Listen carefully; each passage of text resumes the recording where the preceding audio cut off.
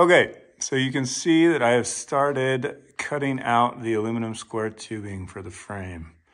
So the plans call for 6061-T6 2 by 2 by eighth of an inch thick aluminum square tubing.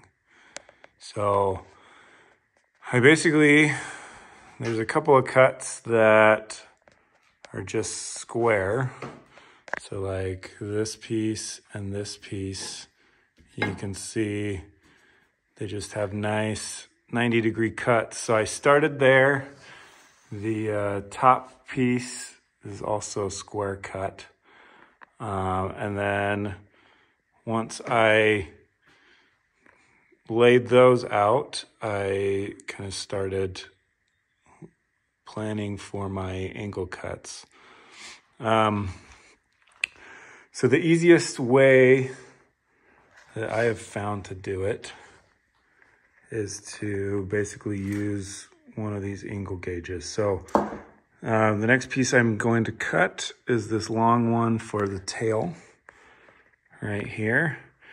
And so uh, what I do is I can come and uh, measure the angle. So the angle that I want to cut, I'm going to line up with the straight edge of my aluminum piece and then line this up along the piece that it's going to butt up next to. Um, and you can also see, so according to the plans, this angle is 75. So this angle is 75 to this reference line.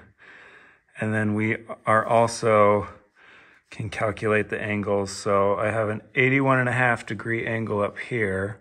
So that means I have an eight and a half degree angle down here. So that um, 75 minus eight and a half, I, I get uh, 66 and a half. And that, according to this uh, digital one right here, is exactly the cut.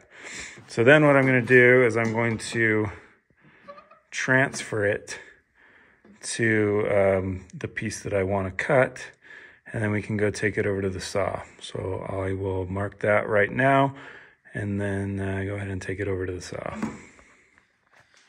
So the easiest way that I have found to cut this aluminum is just with my miter saw.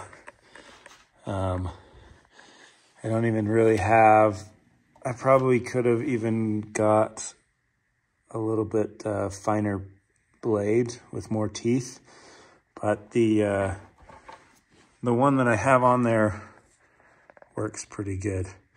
Um, so using my uh, reference line that I transferred over from my angle marker, um, I lined it up and I can I can double check too. So 90 minus 66 and a half is 23 and a half. And you can see that I am right in line with where I need to be.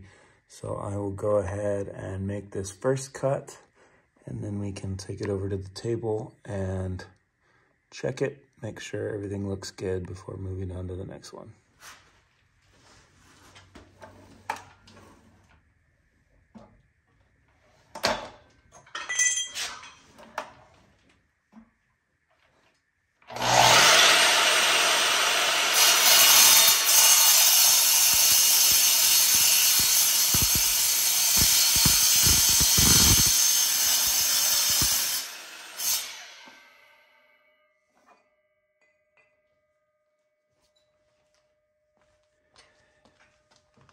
So as you can see, the uh, miter saw works really well.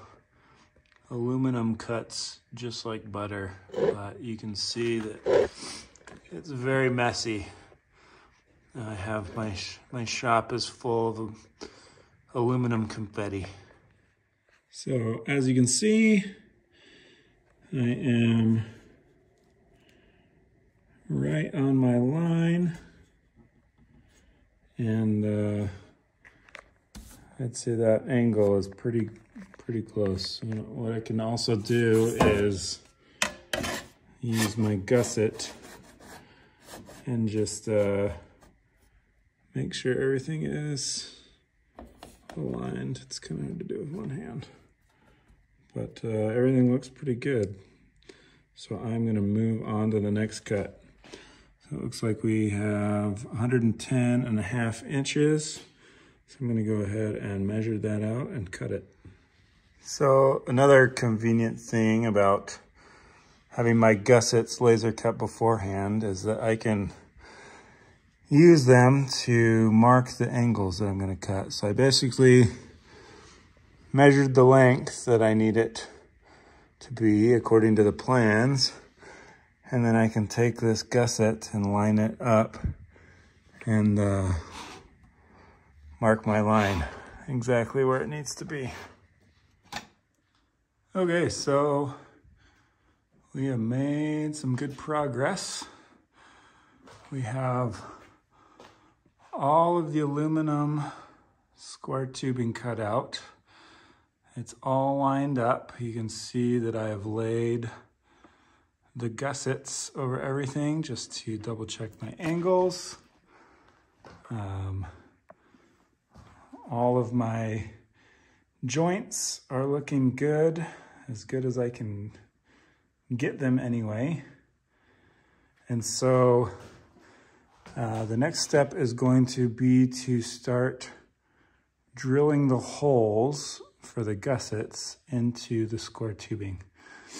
Um, you can see that the holes on the gussets are gonna go right down the middle of the square tubing.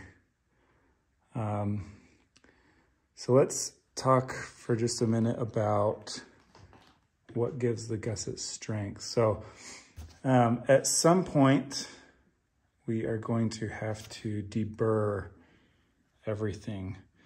Um, so when you when you cut metal, uh, depending on how fast you cut it, um, there gets to be a little bit of a burr on the edge. Um, so what I have here is called a deburring tool. And what you basically do is just take this and kind of run it along all of your edges.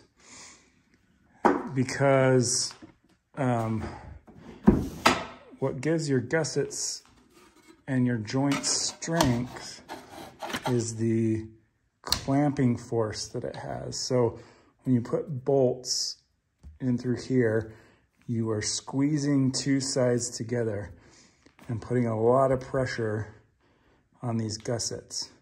And it's this friction between the gusset and the square tube that gives it a lot of strength. So if I have a lot of pressure on here, I have a lot of friction and my aluminum tubing isn't gonna want to rotate um, or move at all. So we need to get rid of the burrs because sometimes um, when you cut, you have a little bit of a ridge there and it doesn't sit perfectly flat. That ridge kind of holds the gusset off of the square tubing. So at some point, we're going to need to deburr all of our cut edges, all of the holes before we do a final bolt together. And we're also gonna want to kind of sand down a couple of these scratches and make everything nice and smooth. So uh, next video, we will go ahead and start drilling holes in our square tubing using our gussets.